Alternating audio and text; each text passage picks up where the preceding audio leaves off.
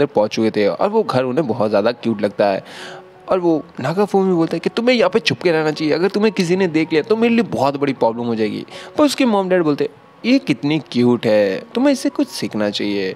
और सब लोग नागाफूमी को ही सुनाने लग जाते हैं। अब हम लोग देखते हैं कि नागाफूमी के रूम में बहुत ज़्यादा वीडियो गेम्स ये सब पड़े होते हैं। नागाफूमी बोलता है, आखिर मैं कहाँ रहूँगा? तो उसका डर बोलते हैं तुम्हारे लिए सबसे अच्छी जगह है स्टोर रूम नागाफूमी बोलता है, मैं क्यों रहूँगा स्टोर रूम में मेरे रूम तो यहाँ पे तभी उसकी वो लड़की बोलती, तुम्हें स्टोर रूम में रहने की कोई ज़रूरत नहीं है। तुम्हारे बदले मैं रह जाऊँगा। पर फाइनली अब नागाफूमी को इतना इमोशनल होने मतलब होते हुए देखकर नागाफूमी बोल देता, ठीक है, मैं ही चला जाऊँगा। अब शाम के टाइम नागाफूमी बाट टब में नहाते नहाते रो रहा होता है। तभी वहाँ पे सन आ जाती है और सन के साथ वो लेडी किलर भी आ जाती है, जिसको देख के वो लोग एक अटैक करते हैं, जिसकी वजह से नागाफूमी तो दीवार तोड़ के बाहर गिर जाता है और उसके मॉम डैंड ये सब हरकतें देख के बहुत ज़्यादा गुस्से होने लगते हैं। तभी हम लोग सन को देखते हैं, जो कि अपने घुटनों के बल बैठ के उनके सामने कुछ पैसे आगे करती है और बोलती है, ये मेरे डैड ने भेजे थे तुम्हारी मदद के लिए। तो ये सारे पैसे लेके उन दोनों का तो रवैया बदल जाता है और वो सारा का सारा आरोप नागाफूमी पे लगाते थे कि इसमें तुम्हारी गलती होगी। और नागा नागाफूमी अब बेचारा कर भी क्या सकता है? उसको ये सब सहन करना ही पड़ेगा। और भाई, सच में, पैसों के आगे आप किसी को कुछ नहीं बोल सकते। अब नागाफूमी उसे सब कुछ बता देता है और बोलता है कि आज हम दोनों को शॉपिंग पे चलना चाहिए। तो ये सारी बातें सुन के नागाफूमी भी शॉपिंग पे चली आती है और सन बहुत सारी चीज़ों को देख के बहुत ज़्यादा एक्साइटेड हो जाती है कि ये चीज़ें क्या, ये चीज़ें, क्योंकि अंडर वाटर उसे इतनी ज़्यादा चीज़ें देखने को नहीं मिलती है और नागाफूमी बहुत ज़्यादा खुश होता है कि अब उसके साथ कोई लेडी किलर नहीं है, पर वो जैसे ही सामने देखते हैं, दो लड़कियों को दो बदमाश छेड़ रहे होते हैं। तो नागाफूमी सन को उससे दूर रहने को बोलता है, पर सन को बहुत ज़्यादा गुस्सा आ रहा होता है। इस दिन नागाफूमी की हम लोग वहीं पर देखते हैं कि लड़की आ जाती है, जो कि उसी के स्कूल की थी, और वो बोलती तुम्हें इन दोनों लड़कियों को छेड़ने की क्या ज़रूरत है? उन्हें जाने दो। और इस मौके का फ़ायदा उठा के वो दोनों लड़कियाँ वहाँ से भाग भी जाती है। और वो लड़के बोलते हैं, तुम हमसे लड़ोगी? तुम हमसे लड़ोगी? तो वो लड़की बोल देती, नहीं, मैं नहीं, वो तुमसे लड़ेगा, नागाफूमी। और ये नागाफोमी के पास अब और कोई चारा नहीं होता और वो दोनों बंदे उसके ऊपर अटैक करने वाले होते हैं। इसलिए नागाफोमी बोलता है, चलो पानी में।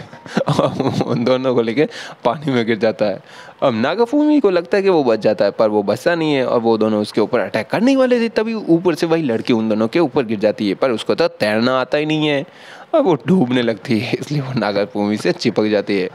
तभी हम लोग सन को देखते हैं, जो कि पानी में जाके उन दोनों बंदों को बेहोश कर देती है। और नागाफूमी उसे बचा लेता है। और वो बोलता है, बचपन से तुम मेरे साथ यही करती आ रही हो। पंगे तुम लेती हो, बचाना मुझे पड़ता है। ये तुम क्या करती रहती हो?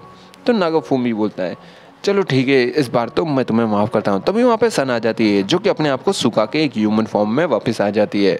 और हाँ तभी हम लोग उस लेडी किलर को देखते हैं, जो कि नागाफूमी पे बहुत तेज़ी से अटैक कर रही होती है और नागाफूमी को और मारने वाली होती है। तभी नागाफूमी की फ्रेंड वहाँ पर आ जाती है, जिसकी वजह से नागाफूमी उसे बताता है कि ये तो एक टॉय है, खिलौना है और ये ऐसी हरकतें देख के नागाफूमी वहाँ पर थोड़ा सा शर्मिंदा हो जाता है। अब सन और उसकी फ्रेंड के बीच में, यानी कि इस लड़के के बीच में दोस्ती हो जाती है, जो कि उन्हें बताते कि मेरे को तो बचपन से पुलिस ऑफिसर बनना है, क्योंकि मेरे डैड भी है। और ये सारी बातें सुन के तो सन बहुत ज़्यादा परेशान हो जाते हैं, क्योंकि उसके डैड एक गुंडे है। ये सारी बातें सुन के तो उनके बीच में दोस्ती होने का चांसेस थोड़े कम थे, पर फाइनली उनके बीच में दोस्ती हो ही जाती। है अब एक बार फिर से इंडा का में बाटा में पहुँचता है, जिसकी वजह से उसके ऊपर एक बार फिर अटैक होता है, और फाइनली अब उनके स्कूल जाने का टाइम भी आ जाता है, और वो लेडी किला उसके ऊपर अटैक करने ही वाली थी, पर नागाफूमी कैसे भी उसके अटैक से बच जाता है। अब सब लोग स्कूल में जाने के लिए तैयार थे। और यहाँ पे सन ने भी नागाफूमी की स्कूल में एडमिशन ले लिया था। और वो दोनों बहुत ज़्यादा ही एक्साइटेड थे। अब हम लोग समझ सकते हैं, सामने जो लड़का देख रहे हो, वो नागाफूमी का बचपन का दोस्त है, जो कि एक कैट की तरह क्यों दिख रहा है? तो हम इसे कैट बॉय बोलेंगे। अब कैट बॉय जैसे ही सन को दिखता है तो वो उसके प्यार में पागल हो जाता है। पर सन सॉरी नागाफूमी उसे दूर भगा देता है कि दूर आ करो ये मेरी दूर की रिश्तेदार है।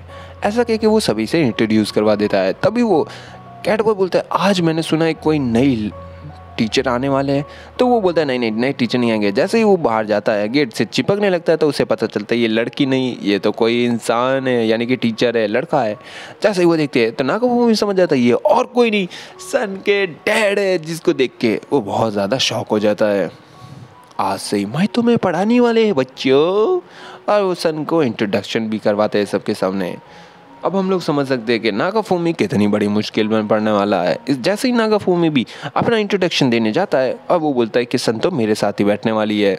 तो वो उस पर बहुत ज़्यादा चिल्लाते हैं। इसलिए नागाफूमी भी थोड़ा बहुत ज़्यादा गुस्सा हो जाता है, इसलिए वो सोचता है कि उसे अपने दोस्त को मेडिकल रूम ले जाना चाहिए। जैसे ही वो उसे मेडिकल रूम लेके आता है तो यहाँ पे और कोई नहीं, सन की मदर होती जो कि बोलती नागाफूमी तुम्हें टेंशन करने की ज़रूरत नहीं है। अगर सन तुम्हारे लिए कम पड़ रही है तो मैं हूँ ना। ऐसी बातें करके नागाफूमी वहाँ से भाग जाता है। भाई, अब मदर भी लाइन मारने लग गई उस पर तो। नागाफूमी यहाँ से भागते भागते देखता है कि पीटी टीचर वो तो और कोई नहीं, उसके बॉडी गार्ड्स होते। तभी उसके ऊपर वो शाख भी अटैक कर जाती, जो कि और कोई नहीं, उनका ही स्कूल में एक टीचर बन के आया होता। है भाई, अब नागाफोमी की लाइफ तो ऑलरेडी झंड हो रखी है, क्योंकि उसके पीछे इतने सारे लोग पड़े हैं।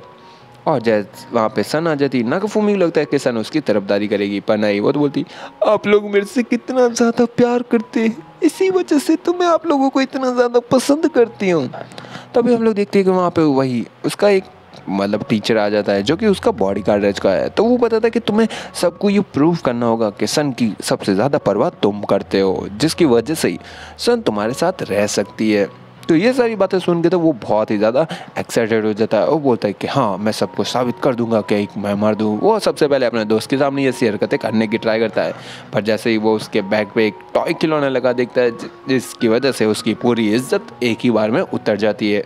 और अगले दिन उनका टेस्ट चलने लगता है, जिसमें नागाफूमी तो पूरी तरीके से फेल हो जाता है। मतलब आप लिटरली यकीन नहीं करोगे, आपके तो ज़ीरो नंबर आ जाते हैं।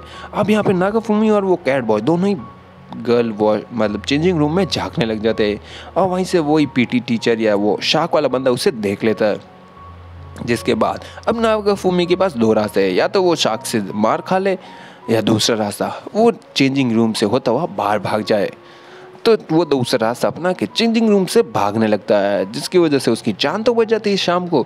सन उसके पास आके बोलती है, मुझे नहीं पता कि तुमने ये सब क्यों किया, पर शायद तुम्हारे पास इसका कोई रीज़न रहा होगा। तो नागाफूमी समझ जाता है कि सन उसके ऊपर कितना ज़्यादा बिलीव करती है। तभी हम लोग नागाफूमी के बचपन का फ्लैश बैक सीन देखती है, जहाँ पर वही अपने दोस्त के साथ बहुत ही ज़्यादा गेम्स खेलता था। इसका अगला पार्ट हम लोग जल्दी लाएँगे।